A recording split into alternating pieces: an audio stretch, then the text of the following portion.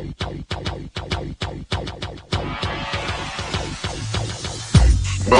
to the Odds Breakers, number one place for shared sharp betting information.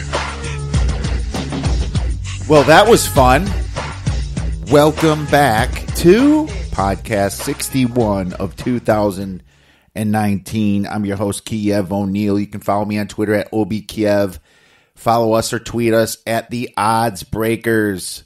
Also, social media slash the Odds Breakers.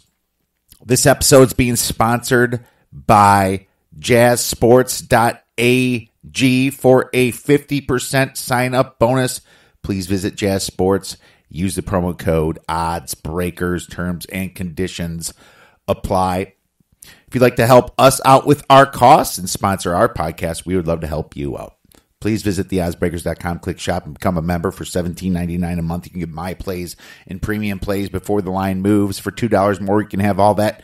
Become a patron subscriber, get the podcast a little bit earlier. If nothing else, please visit theoddsbreakers.com and become a free picks newsletter subscriber. And oh my goodness, our free picks are doing pretty good.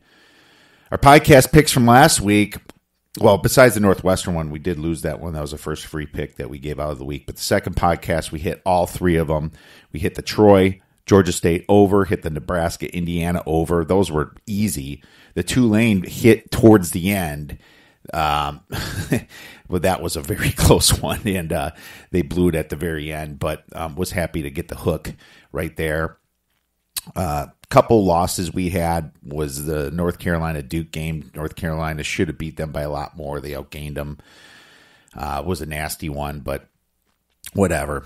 Well, actually, that one wasn't given out. Washington State was given out. And They only lost by two points. It was that sandwich spot with Oregon. I mentioned that with Ralph and Chris, as well as the over for TCU Texas. So, what a great podcast last week. But as far as sides, we were I believe 10 and 10, I got to check that ATS.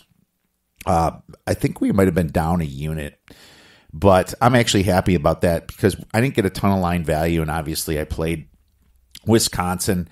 Did buy back a little on Ohio State, but didn't. I can't count it because I didn't send it out. Obviously, it was a second half live bet, but sorry, second quarter live bet. But either way, still hovering around even in college, kicking ass in the NFL. Hopefully that continues up over 20 units, I believe up 23 units in the NFL. So I just want to say for starting the recap here, we're starting with college. Uh, I was wrong about Chase Young being a top 10 draft pick because he's a top two draft pick. Okay. A top two the most important positions in football is the well, let's just say the most game affecting positions because you can argue that Mike linebacker is more important calling the plays um, you know obviously see, calling audibles on defense that I guess you can say that's more important but the more game affecting obviously is the quarterback position and the edge rusher that's why you see so many people try to get edge rushers this day and age in a passing type league. And Young is going to be a top two pick. Otherwise, there is absolutely something wrong. Quarterbacks might not pan out when you see them drafted, as you see with Mitch Trubisky, drafted number two, Josh Rosen, top 15. You know, they don't always pan out, but edge rushers have a better chance of panning out, in my opinion. You know, they have metrics. There's not a lot of, you know, audibles and and uh, just straight up uh, execution on every single throw type deal. They are able to be measured properly. You see their instincts, and then you draft them. Young is a grand slam. All right as far as a pick. And, um, you know, who knows who's going to draft him? Maybe the Jets, maybe the Bengals, if they really believe they don't need a quarterback. Uh, the Dolphins need a quarterback, so I highly doubt that they draft him. Uh, the Redskins, pff, Dwayne Haskins, are you going to give him another year when Tua's out there? Maybe you wait for Trevor Lawrence. That's a possibility. You know? So just wanted to throw that out there that Chase Young is a top two draft pick, in my opinion. Lots of games last weekend, lots of rain affecting these games last weekend. Uh, pretty crazy. Um, starting with Pitt, you know, they pulled a Miami, playing Miami, turning the ball over, lost while outgaining them. You know, that's it's kind of funny playing Miami. You pull a Miami, but uh, uh, you know, either way, Pitt blew that game, but it just kind of shows you the strength of the ACC right there. Thursday, we bet Houston um, versus SMU. They God, God almost caught SMU at the end there. SMU has that big look ahead spot to Memphis, so I'm glad we took the home dog. Home dogs on Thursday night are money. Um, a friend of mine also pointed that out, named Randy. They are money. Uh, I want to see what their ATS is. If uh, I can take a little time to pull it up. If you have it, go ahead and tweet it out to the odds breakers. I'm really curious what home dogs, college, and NFL does um, on Thursday nights because that's a money bet right there. And, uh, you know, just keep pounding it, is my opinion. Let's go over to USC versus Colorado, the Friday game. I didn't touch it. You know, the over under was what, 65, 64, and it went pretty much landed at that number. USC almost blew it, but Mel Tucker did blow it because he allowed 14 unanswered points for USC when he was winning, and he only lost by four. He was up 10 going into the fourth quarter. That is blowing a game. And I'll tell you this I know a lot about Mel Tucker, and I did not like what I saw in the NFL at all. Now, yes, he was good on Georgia as a defense coordinator, but you also have to understand what kind of recruits he was dealing with. Looking at Auburn versus LSU. That was an awesome game, and LSU is the the truth. I did bet Auburn. Um, I actually bet it before Chris and Ralph came on and sent it out as a premium play. Bought back a little on LSU at the half, but won it won won money on it. I'll tell you this: I'm not fading LSU. I'm not gonna. There's probably not going to be a spot where I fade them again because uh, they outgained the hell out of Auburn. And I'm not going to necessarily downgrade Auburn. Um, they did keep it close, but LSU, they, they they're the truth, and I gave them a very big upgrade. I think I have them as the fourth best team in my power ratings when I had them around fifth or sixth before. Um, but that was uh, very interesting. Another interesting game was Oklahoma in Kansas State. They lost Kansas State, but you could tell in the fourth quarter who really was the better team, obviously, but they got jumped. They're flat. It was a flat spot for them. And uh, now it might cost them the college football playoffs because you know what? Georgia, they are in control of their own destiny. If LSU or Alabama, the loser of that game, as long as they don't lose any other games, which probably won't happen, look at the SEC, is going to, to the college football playoff. Now, if Alabama is on or LSU is undefeated and plays the SEC championship and loses to one loss Georgia, that gives three one loss SEC teams. You could, in theory, pencil all three of those teams in the college football playoffs, along with uh, it's looking like Ohio State, obviously, and Ohio State just going right into that game. They beat the shit out of Wisconsin and it, the officiating wasn't bad at all. It was it was Wisconsin losing that game. It was rainy, of course, but their defense somewhat gave up at the end. At the same time, they were tired, freaking wet. They could see Coan just could not get it going. Now, he didn't have a ton of time to throw the ball, but he's going against the best edge rusher in the best, and maybe a top two, top three D line in the whole game you could see Wisconsin kind of kept it close. It was 10 to 3 in the beginning of the third, or 10 to 7 in the beginning of the third, but they just kind of gave up because if you can't move the ball when you stack the box, that you're just going to lose. They're one dimensional on offense, you know, one dimensional. No RPO game to open it up, to at least throw it over the linebackers' heads when they're stacking the box to the quick slant. None of that. And that's what's killing them. You know, it's one dimensional Ohio State is three dimensional on offense. Not only do they have a running game in Dobbins, which is showing better than Taylor right now, they also have a quarterback that can run very fast. He got hit a couple times. I was wondering if he was going to stay in the game, but they pulled him at the very end, but he was fine. And they have a hell of a passing game. They have they're three dimensional. You stack the box against them, they're going to get the ball out quick, and they're going to find some crossing routes or receivers or quick slants. Actually, crossing routes more of a a three or four second type pass, but you know what I'm saying. Maybe some back shoulder. Let the athletes grab the ball. We didn't even try for that. We even try to let our athletes grab the ball. it's that's that we got our asses kicked. But at the same time, the good news is that we don't have to worry about them uh, losing in the playoffs as Badger fans, and you're actually going to see a better playoff anyway because they were fraudulent. And uh, look at how damn good these teams are: LSU, Bama, Clemson, Ohio State. Oh, that's right. Um, it would be between Georgia and Ohio State if Ohio State loses, but Georgia it kind of controls their own destiny. But um, it's going to be one or two in the in that SEC championship. Clemson's going to be undefeated. If Ohio State's undefeated, they can't take all three SEC teams over those. But Oklahoma blew their chance, and they're on the outside looking in now, just because of the situation I said. Notre Dame Oh, Notre Dame. Watching Notre Dame, Michigan was just like watching Wisconsin versus Ohio State. Lots of people took that Notre Dame win total under because you are fake news. They were fake news. And uh, unfortunately, so is Wisconsin. But uh, they're out.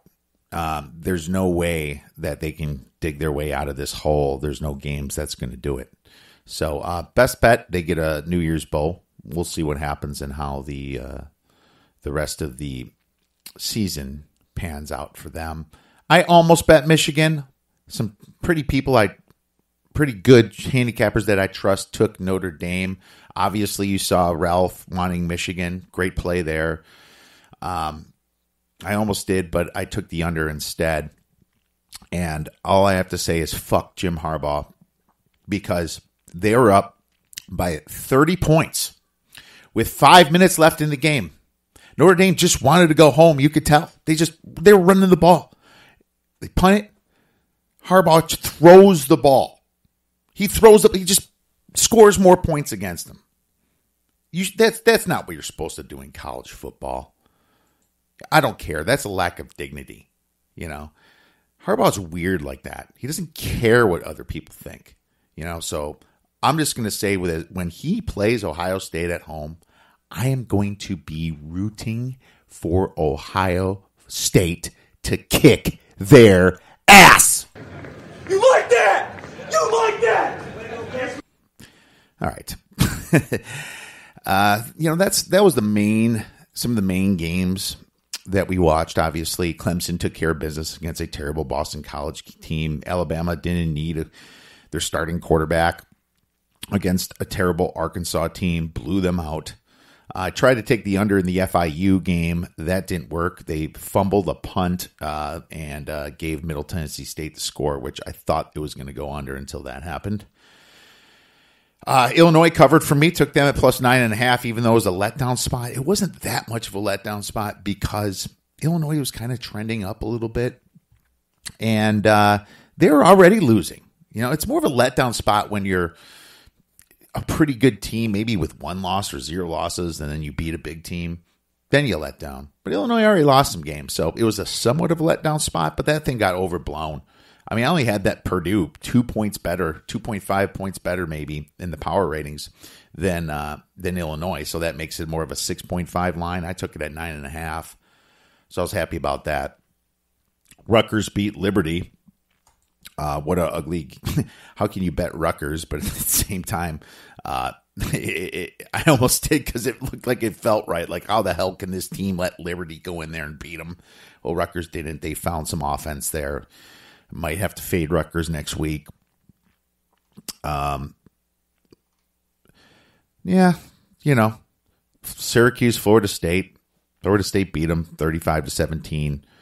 You know, Hornibrook played actually 196 yards, 15 for 26. Good for Horny. Uh, maybe he has a little bit more creativity with this offense. Uh, Nebraska played with a backup quarterback. So did Indiana, but Peyton Ramsey's been there forever. He's been a starter. So 27 for 40, 350 yards.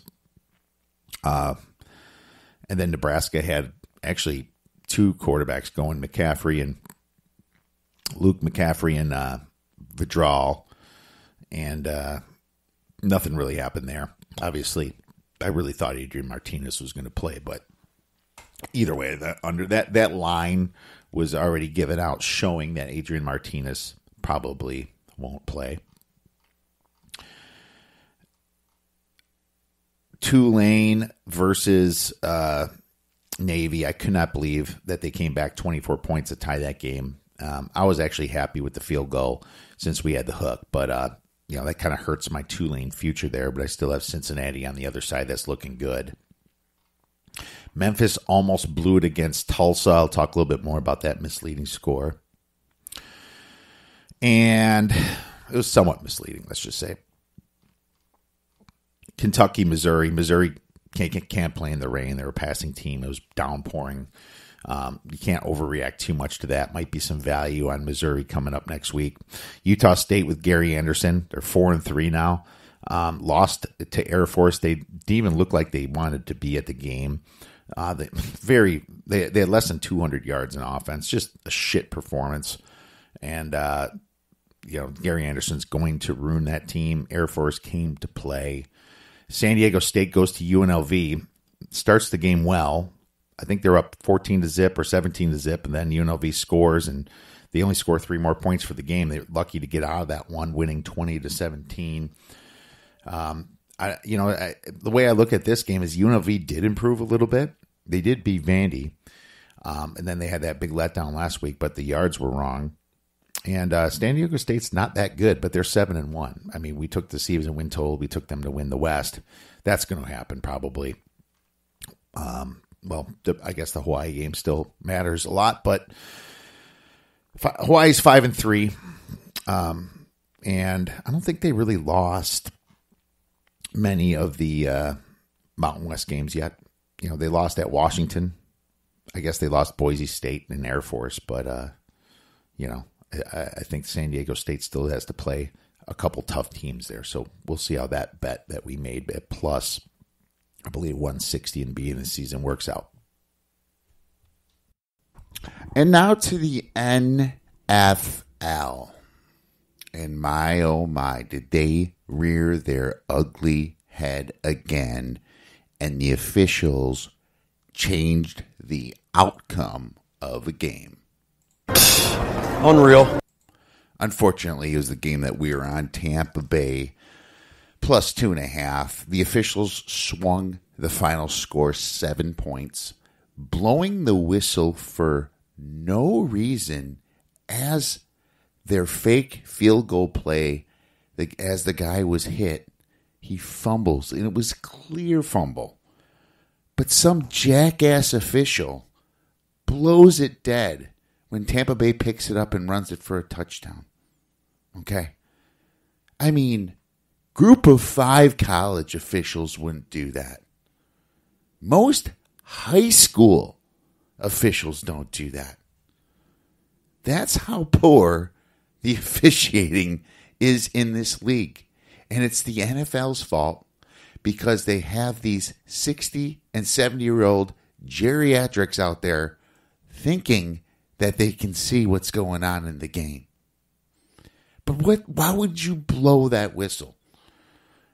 If this was a playoff game, you would have heard the same shit you did with the Saints because now Tampa had a chance to score, but it still changed the momentum. I mean, every single little play affects the full rest of the game. So the officials changed the outcome of the game. And I'll tell you, we we're six and five in the NFL. But being seven and four would have been a lot nicer and a lot more profitable, wouldn't it? so, real sad that they did that. Packers, they finished strong, destroyed Kansas City. Although KC kind of did to themselves, fumbling the ball in their own side of the field and giving the Packers a short trip to the end zone. But they lost by seven. Packers covered the spread. And uh, yeah, there's my other free pick right there. uh, Eagles destroyed the Bills. We were on the Eagles. Um, happy about that. It was a premium play. The Eagles, uh, I knew they were better than what they were showing. But um, unfortunately, uh, unfortunately, they still have a very bad defense. Very, very bad defense. So, you know, we'll see if, what the line comes out next week against the Chicago Bears, who have been absolutely terrible. But they are who we thought they were. Well, they sure are who Charger betters thought they were because uh, Matt Nagy blew the game. And yeah, you can say Mitch Trubisky turned it over twice in the fourth quarter, fumbled it once through an interception. Sure. But what the hell is he doing passing the frickin' ball when you're up six points and you're supposed to have the best defense in the league when you should be running the clock and punting it, leaving it to your defense instead of just giving them the touchdowns? I mean, it, Matt Nagy does not know how to coach football. Most of you listeners are a better game flow coach than Matt Nagy. Seriously. That's the problem. You hire guys that have never coached in their life. They've been, they're an offense coordinator. He's like a kid playing Madden, you know, a kid, of a 10 year old playing John Madden that doesn't know how to finish a game, but he knows kind of uh, the plays. You know, that's what he does. He comes home from school and, you know, gets his Cheez Its and uh, sits there and plays Madden for four hours, and the parents are just happy that the kid's out of their hair. That's Matt Nagy. He knows plays. He knows nothing about the flow of the game of football or how to win a football game. Absolutely amazing. We played the 49ers as a premium play. Got talked out of it in the super contest. which that never happened. 51 to 13. Jesus. They're the Patriots of the NFC. The Colts, they won, but they kind of lost because uh, they should have won by a lot more than that. Everyone was on the Colts minus five and a half, including myself. Wanted them to uh, show up a lot better than they did. Patriots covered against the Browns. No surprises there. We hit our under. The Patriots won by 14, covering the spread. Well, most of those spreads by about a point or so. So that thing landed real close to the spread. I was scared to take the Browns. I mean, they had a shot to score a garbage touchdown and didn't. So um, that's how kind of close that was. The Texans beat the Raiders. We hit the under 51 and a half. Um, a lot closer than people thought. The Raiders were leading a huge portion of that game.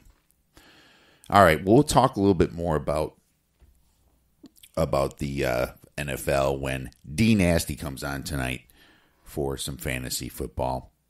Otherwise, let's get right into college football misleading final scores. We start out with SMU versus Houston. Houston outgained SMU by 135 yards, yet lost by three. A three to one turnover ratio hurt them. Uh, keep in mind, though, Houston did have a 95 yard late in the fourth quarter trying to come back in that game. Miami versus Pittsburgh. Pitt outgained Miami by 114 yards, yet lost by four. Three to one turnover ratio. Pitt pulled the Miami there. And Oklahoma versus Kansas State. Oklahoma outgained Kansas State by 71 yards and lost the game, screwing their playoff chances. 2 to 0 turnover ratio helped K State right there. Holy smokes, Oklahoma. That was a huge win for Kansas State. Hello? You play to win the game. Illinois versus Purdue. Yards were about even, yet Illinois won by 18. Only a 2 to 0 turnover ratio too. Um that's that's that shows that Purdue was they should have done better. It's usually the other way around in Illinois games. Mississippi State versus Texas A&M. Uh, Mississippi State was only outgained by 10 yards, yet lost by 19. A 3 to 0 turnover ratio. I almost bought bet Texas A&M too. Auburn versus LSU. The officials helped Auburn get down from 10 to 3, as you saw with some terrible pass interference. But uh, there's going to be no changes in my power ratings. LSU outgained them by 200 yards. So that that's score was a little misleading. LSU had that game uh, from a yards perspective by 10 to 12, uh, 14 points. San Jose State versus Army. Army outgained San Jose State by 27 yards and lost by five. Typical Army. Don't know what the hell happened to them. Oklahoma State versus Iowa State. Iowa State outgained Oklahoma State by 66 yards and yet lost by seven due to a three to one turnover ratio. Indiana versus Nebraska. Nebraska outgained Indiana by 59 yards yet lost by seven. Typical Nebraska. That's it. I feel like I'm talking about them every single week. One of these weeks they're gonna put it together and really pound someone uh, when Adrian Martinez gets back. Arizona versus Stanford. Arizona outgained Stanford by 23 yards, yet lost by 10. A 2 to 0 turnover ratio. That's very typical Kevin Sumlin, Arizona. Memphis versus Tulsa. Tulsa outgained Memphis by 84 yards. Oh, my Lord. And then uh, they lost by one point, missing the extra point. Arizona versus UCLA or sorry, Arizona State uses UC versus UCLA. UCLA only outgained ASU by 10 yards, yet won by 10. They also had some turnovers there. So um, some of that, though, and I have to point that out in some of these games, was just garbage time. They're just kind of holding on to their, their score. So I try not to. There's a couple ones that I don't mention that I just feel was just fourth quarter prevent defense. These are the main ones. So hopefully you can find some value on the teams that outgained the others, yet lost or fade the teams that won when they were outgained. Let's move right into college football, week 10 betting spots. And we're going to start out with Michigan versus Maryland. Michigan could let down here after whooping Notre Dame's ass, but I don't think they will uh, because I, Michigan's kind of on a tear right now, and Maryland's really that bad. So I wanted to mention it that it is a letdown spot, but I'm not buying into that one. Kansas State versus Kansas, both are in letdown spots here because both won their games up to the last seconds, but uh, K State's win was bigger. Maybe look at the under that game. Uh, Oklahoma State versus TCU is a dual letdown spot, but bigger for TCU, seeing that they beat Texas. Virginia versus North Carolina. North Carolina is a small one after beating their rival Duke in the last seconds. UCLA versus Colorado. UCLA beat a ranked uh, ASU team. All right, ranked, and uh, I guess uh, probably chalk up a win for them, but it's not like they beat USC. Colorado State versus UNLV is a letdown spot after they beat Fresno State. Colorado State beat Fresno State. Pretty big win for them. Get up spots. Colorado State versus UNLV. Um, UNLV is the one with the get up spot. UNLV needs to win out to be bowl eligible. They might try a little extra harder these until they get that seventh loss. Mississippi State versus Arkansas. Arkansas needs a W to remain bowl eligible. Six losses. Northwestern versus Indiana. Northwestern needs a W real bad, but I doubt they can do it here because there's six losses. Mississippi versus Auburn. Auburn needs a good bounce back here. Virginia versus North Carolina. Virginia needs a bounce back after losing to Louisville man, I'm starting to get a little concerned now that Virginia has three losses. I mean, we have that big season win total everyone was on over seven and a half. Do you think we're going to get there? What a stupid question that is. What a stupid question. But I watch you a lot. You ask a lot of stupid questions. Vanderbilt versus South Carolina. South Carolina needs a slump buster, and they're going to get one versus Vandy who just beat Mizzou a few weeks back. Now, Vandy is coming off a bye, Just thought I'd warn you right there about that one. Look ahead spots, not many. Kansas State versus Texas. Kansas State is in a sandwich here looking past Kansas. TCU versus Oklahoma State. TCU in a sandwich looking towards Baylor.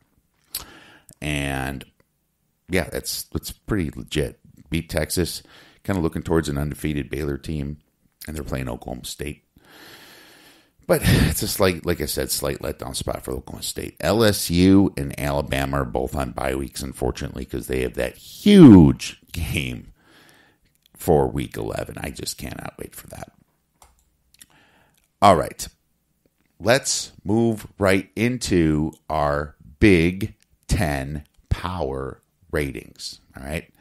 And this is for week 10. Ohio State upgraded 1.5 points to 29.5. They're at the top of ESPN at 33.6 and top of team rankings at 40.3. I don't remember even seeing a team as high as 40.3 before. Uh, Penn State, 19. They're second best in the Big Ten. ESPN has them at 24.4. Team rankings says them 26.6. They're solid as hell, but I still think they're a little too high in uh, some of those sites. Wisconsin, I downgraded 1.5 points down to 17, getting blown out by Ohio State. Uh, ESPN has them at a little higher than me at 20. Team rankings has them at 24.8. Michigan, I have them at 16.75, a little upgrade there. Uh, ESPN has them at 18.5, team rankings 19.8. Good job, Michigan. Uh, Minnesota is now our sixth best team in the Big Ten above Iowa, Michigan State, and Indiana. Minnesota 12.75, 12.9, 10.8 on team rankings. And they're rowing the boat. That's what I kind of thought that was going to happen. They had those three really bad non-conference games, barely win, and then uh, now they're doing really well in the Big Ten. So that ticket's still looking good. Indiana, or sorry, no, I have Iowa next, uh, twelve point five, and little, little upgrade there. They blew out Northwestern. Well, Northwestern didn't score. Surprise, surprise. ESPN has at point one. Team rankings fifteen point three. Michigan State, we I downgraded them big probably what um I think I downgraded them like three points or something. No, two points. Um, from and they're at a, yeah eleven. They're they're eighth best. ESPN has them about the same as me. Um, ESPN has them at ten point nine, and Team Rankings has them at twelve point two. I just looked back; I had them at thirteen, so I had two point downgrade, getting blown out by Penn State. Indiana, 6.5. They're really good. And uh, you watch for Indiana this year. ESPN has them at 6.5. Team Rankings has them at 7.9. Nebraska, I have them down a point to 6. And I'm higher than ESPN, having them at 1.2 and team rankings at 2.7. I still think there's hope with Martinez if he comes back. Northwestern, big downgrade from 5 down to 3 but ESPN has a negative 1.8. Team rankings has them at 1.4. Uh, Purdue, I have down to a 1, losing to Illinois. Illinois, I have a positive, baby. Positive. Lovie Smith, the hell are you doing? I have them at 1. ESPN has a negative 0.7. Team rankings is now positive, having them at 1. Uh, Illinois, or sorry, Maryland, minus 2 bad team that plays fast. ESPN has a minus 1.5. Team rankings at 0.3. And yeah, Rutgers beat Liberty, but they're still whale shit on the bottom of the ocean for me. That low at minus 16. ESPN is at minus 16.8. A little upgrade. In team rankings, a little upgrade at minus 19.7. All right, now it is time for our free college football play of the week for the first podcast until the next. And I am going with Notre Dame minus 17 and a half. Now, Notre Dame, everyone can say this is going to be a terrible spot for them because their hopes and dreams were crushed in the rain in Michigan. But let's just hold on right there. They knew that they were out of the playoffs when they lost to Georgia. I mean, how could you not really? You know, it would have took a, a, a, small miracle for them to uh, get back in the playoffs. But uh, they lost to Michigan, but this is still a very good team, you know, averaging 6.35 yards per play, only giving up 5.12. Pretty hard schedule so far, playing teams like Virginia, Georgia, Louisville, USC, you know. And now they're taking a Virginia Tech team that they are coming off a bye, but they're a little bit overrated here. You know, I mean, Virginia Tech, they got their butts beat by Duke by 35 points. Then they played teams like Old Dominion. They lost to Boston College by seven points. They played teams like Furman and won 24 to 17. Now they did beat North Carolina 43 to 41 a couple weeks back, but this is kind of their letdown situation, and they're going to be playing a pissed off Notre Dame team that I still think is a top 12 team for sure. As a matter of fact, I have Notre Dame ranked in my power ratings at 12, and I have Virginia Tech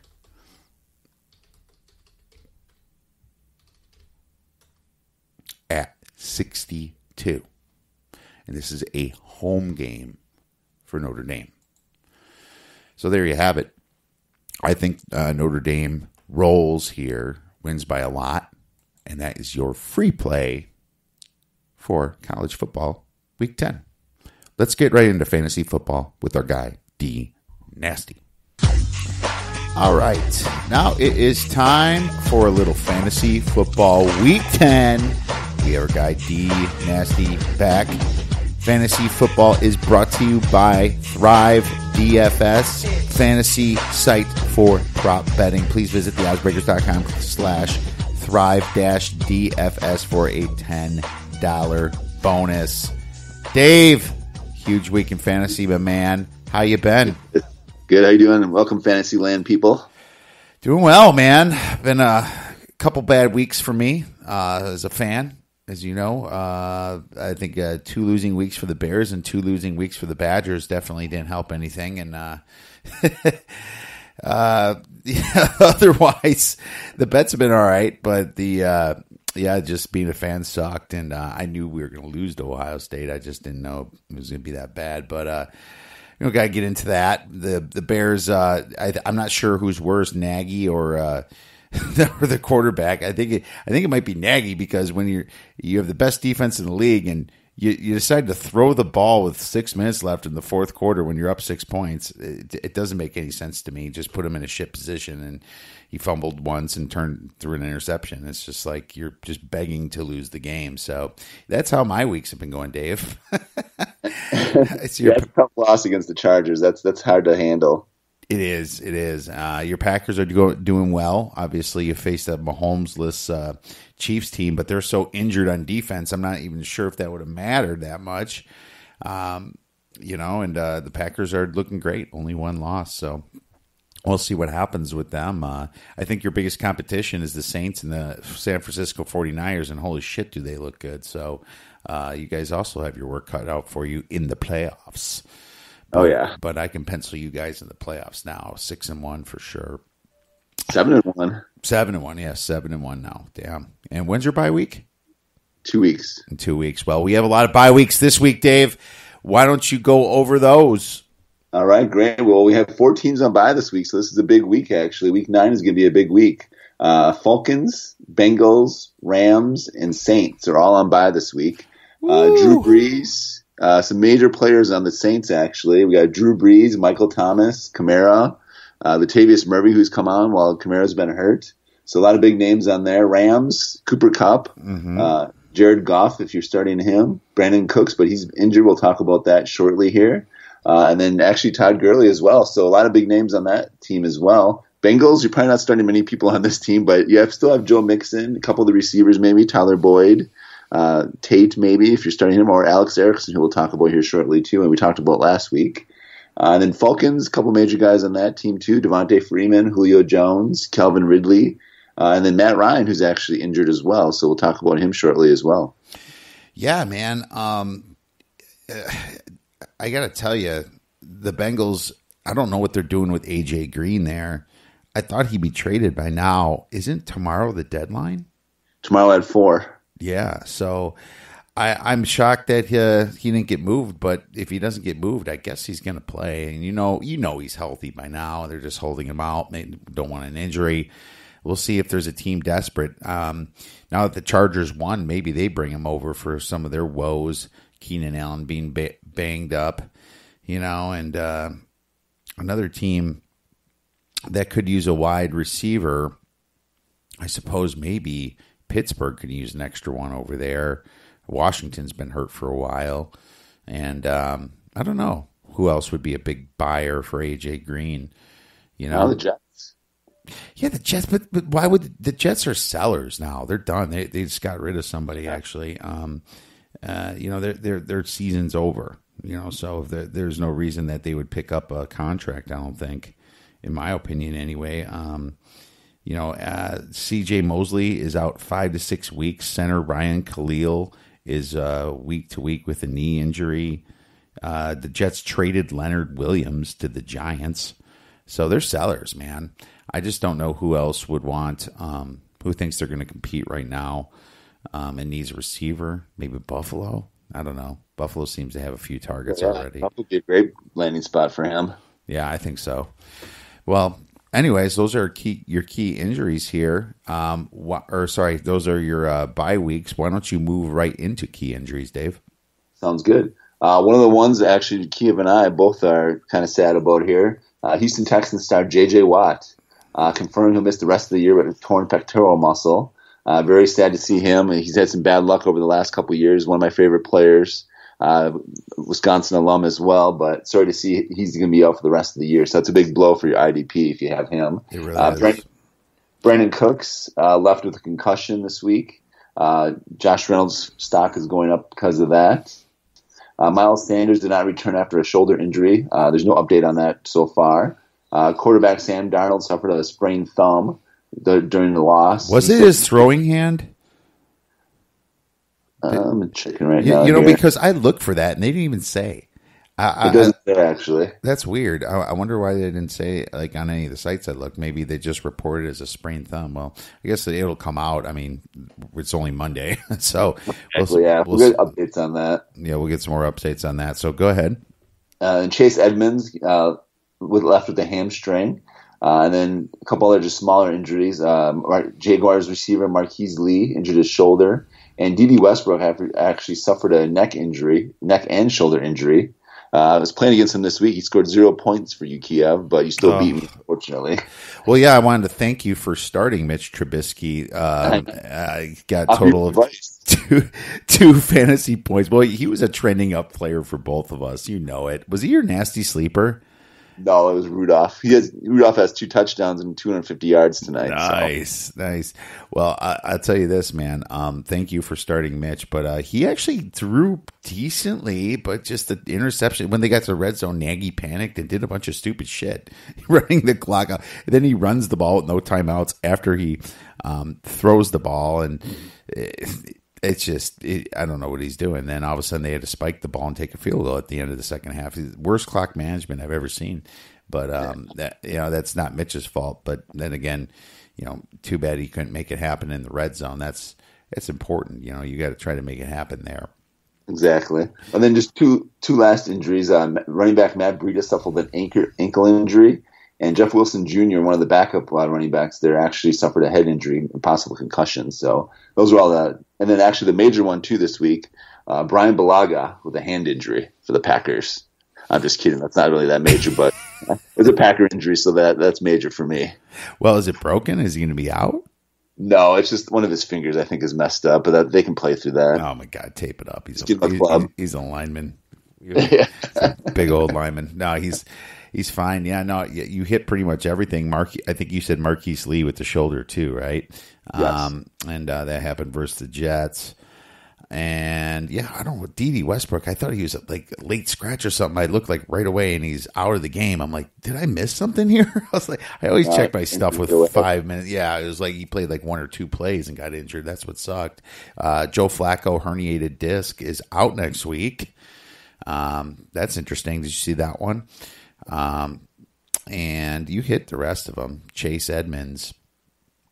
is is the main one I think because he was really doing well with the Cardinals. That's that's sad that he's out, but that's about it. Um, Watt, yeah, terrible for IDP, but um, you know, such a great guy, obviously, and uh, great for all, his community and um, just all around fantastic person. Uh, it sucks to see that happen to him. And uh, Brandin Cooks at least has a bye week for his concussion, so we'll see uh, if he's going to be out or not. But yeah, I guess that Josh Reynolds stock would go up a little bit more. I'll start with the key waiver wire pickups then, and if you're really desperate and want a Denver quarterback, I guess you could pick up Brandon Allen, and uh, he's going to be starting for Joe Flacco, uh, being that he's out, and so uh, you know some leagues people uh, there's two quarterback leagues and things like that. That would be interesting for people to pick him up um, if needed. He'll be a big one for those types of leagues or any 16 team leagues. Chris Conley, I have him as a big pickup this week uh, with Westbrook and Lee injured, and we'll see what happens, how long they're out. Keep your eyes open, but Conley might be a very big pickup. Um, Kenyan Drake. So he just got traded to the Cardinals, and the, obviously the Cardinals are they're trying to win this year. I, I was a little surprised that they did that, uh, sacrifice the third round pick for a, a running back. It's going to be. I, I'm thinking it's third or fourth. They didn't really announce it yet, but um, it, it's just it's just surprising to me that they're trying. They think they're going to do something in that division with Seattle, the Rams, and the 49ers. I, I I disagree with that move. I just say pick someone off the freaking off the dumpster pile, right? So Exactly. so I don't know why they did that, but it makes him worth a pickup. He's available in I think 40% of Yahoo leagues. Um, now now I think that Alfred Morris is already rostered from the Cardinals, and he's going to be the guy playing mostly on Thursday because he knows the playbook. He's been there a couple weeks, and uh, I think he's going to be the feature back for the Cardinals this week. Not saying that Kenyan Drake won't take over, but they play on Thursday, so I can see Alfred Morris playing. I got Raheem Mostert if Breida and Wilson are out, right? Um, like it. I like it. I, I, I like him for sure. I think he's going to be a big pickup here this week. And my last one is Auden Tate. And you might have mentioned him weeks ago, but I never did. Um, in case the Bengals do trade Adrian Green, Auden Tate will slip right into that role next to Tyler Boyd over there. And that's all I have for pickups, Dave. What do you have? Uh, well, actually, I just want to talk about two quick trades here as well that happened since our last podcast. Um, Mohamed Sanu to the Patriots, so his stock is going up uh, due to that. And then Emmanuel Sanders to the 49ers from the Broncos. So just two trades you might want to keep in mind, too, as you're looking at your rosters and bye weeks. So just know that those two guys, uh, two major receivers, switch teams there. So just make keep track of that for the trades. And then uh, two uh, quarterbacks that you might be surprised about. Jimmy Garoppolo, he's a little over our 50% owned in Yahoo leagues, which is kind of our border, but he has some nice matchups coming up. He has the Arizona Cardinals twice and Seattle in three week span, uh, and he's got Emmanuel Sanders now as well. So if he's out there on the waiver wire, definitely worth a look. And he's already had his buy already. And this this might shock a little bit people right here, right now. My next one, Sam Darnold. He's owned in 23% of leagues. Just listen, just listen. Uh, the Jets play the Miami Dolphins twice the New York Giants, Washington Redskins, Oakland Raiders, Cincinnati Bengals, and then the Baltimore Ravens. So pretty much a cake schedule. But the grain of salt, I'm still recommending this, but Sam Darnold could be good over those weeks against those poor teams. He could throw for at least a couple touchdowns and at least 200 yards. So be a bye week fill in if you need him, or if you lost the quarterback. Uh, Mark Walton, he's the now the starter for the Miami Dolphins. Uh, definitely the pickup one of the pickups of the week right now, other than the Cardinals backs now. And then Tra Carson. Everyone thought Ty Johnson was going to be the man for the Detroit Lions, but actually Tra Carson, ex Packer, keep in mind, he was a third stringer on our team, but he is now the starter for the Detroit Lions. So definitely take a look at him. Wait, And- Ty Johnson's not the starter there? uh, he started, but uh, actually Tra Carson got more carries and more touches. Wow. Okay. I, I think they were kind of doing a committee over there, aren't they? Well, Tra Carson uh, he, he led the backfield with 14 carries, while the rest of his teammates combined for 12 touches. Oh, wow. God, that's weird. He got the majority of them. Ty Carson, huh? I missed Tra Carson. Trey, Tra Carson. I missed that one. So good job. And actually, I saw Mark Walton, but I, I forgot to put him down. So fantastic, Dave. And then uh, Josh Reynolds would be the last one too. With Brandin Cooks hurt, he does have the bye, but if he does not come back after the bye, Josh Reynolds would be the guy for, you want for the Rams. Yeah, I wouldn't put a ton of money on him. Um, you know, a couple bucks if you if you're desperate there. But uh, um, well, I mean, it's just it's just why would you roster someone that might not even play? So maybe next week could be a pickup for him too, right? Yeah, I'm definitely. not. I'm, I'm not so sure. I would do that and uh, like do it this week. All right, fantastic, Dave. Why don't you move into non-starters that are trending up into starting position this week? All right, great. Well, first one is going to be Kenyan Drake. He's uh, like you said, Alfred Morris might get uh, knows the playbook, but I think Kenyan Drake's still going to get a majority of the carries. Even though they're playing the tough 49ers D, I do like him as the starter for the Cardinals, just for the bulk of carries he's going to get and just for the athleticism he brings. Uh, he's definitely going to be the main runner there. Alfred Morris might get some carries as well, but I like Kenyan Drake, even though against the tough 49ers D. Uh, I do like the Texans this week. Uh, they're looking good, even though they're playing a tough Jaguars D. Too, you wouldn't think that you'd like the Texans, but their offense is looking pretty good, and Deshaun Watson has been looking good. Uh, I do like the Colts against the Steelers. Steelers have been giving up a lot of points. Uh, their pass defense is not very good, so Jacoby Brissett, I look to have a breakout day against the Steelers. Uh, Dolphins and Jets, that could be a high scoring game. Neither team is very good. Uh, Darnold, who I just talked about, could have a good day. Uh, whichever quarterback is starting for the Dolphins, I think Fitzpatrick. Uh, so, and then I think Mark Walton could even have a good day against the Jets. Uh, so we'll, the see, we'll see what happens with that because I think uh, it was another huge turnover day for the for the uh, Miami. Uh, they were winning fourteen to zip against the Steelers, and they ended up losing. 27 to 14 so they haven't scored since the uh, first quarter. Fitzpatrick had two interceptions. I believe at least i saw tj watt rip it out of his hands for at least one fumble. No it says two fumbles. He had one, two fumbles and one loss. So that could uh, that could change a few things with old Fitzpatrick. So we'll see what happens there. Yeah, it's going to be a sloppy game, but it could be higher scoring because neither defense is very good. So uh, I look for both of those teams to have some high, some higher scoring fantasy players this next week. Uh, and then I actually, I do like the Bills this week. Uh, they're playing a poor Redskins team. So I do look for the Bills. Josh Allen, Devin Singletary is coming on. I like him. Uh, he had a touchdown this past week on a catch. So I do like Devin Singletary is one of the guys I do like this week against the Redskins. And then I do like Chris Carson and Russ, Russell Wilson against the Buccaneers this week as well. And Well, the well Russell too. Wilson and Carson are starters, though. Yeah. But Marvin Jones, I do like against the Raiders. Uh, Yeah. He's been there usually, so I do like him. And actually, I do like Trey, Trey, Tra Carson and Ty Johnson against the Raiders defense as well. No, fantastic. I like I like those absolutely, and uh, great picks there. I have, uh, and, and it's funny you, you mentioned uh, uh, versus the Jets. I, I have DeVante Parker as a non-starter trender up here um, versus Jets banged up D. Their D is very banged up. I think um, their uh, Tremaine, Trumaine Johnson, their their cornerback, is out too. So Parker can have a huge day. Uh, Kalen Ballage, eh, eh, I think he's going to get a few few runs, but then again, Walton is starting, so I'll just say probably Walton is a guy trending up against the Jets banged up D with C.J. Mosley out five to six weeks, right? Exactly. And with Williams gone too. Yeah, yeah, that too. And uh, Devin Singletary against the bad Redskins D, I have trev- trending up. Some not everybody starts Devin Singletary. I think he's a starter this week. Joey Gallup against the Giants' bad defense. Mari Cooper's been kind of banged up too, but Joey Gallup is going to be the guy that's going to be. Gallup. Michael Gallup. Sorry, Michael Gallup. I don't want to say Joey. Michael Gallup, and uh, he's going to be a very good uh, player this week. I, I project he's going to go at least 15 points or higher.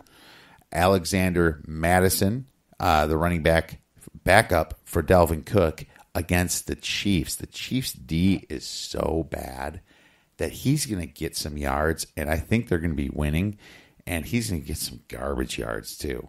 So I like the backup here. I think he's a flex worthy guy this week, Alexander Mattison. Uh, for, for uh, and and it's just one of those situations how you see how Chase Edmonds scored so many points even with Johnson, and it's like I think Alexander Mattison's going to score, and I have Emmanuel Sanders. Uh, he is he's been kind of been put in people's pockets. You know, he's not exactly a waiver pickup because most pe- most people own him, but it's a, against the Cardinals.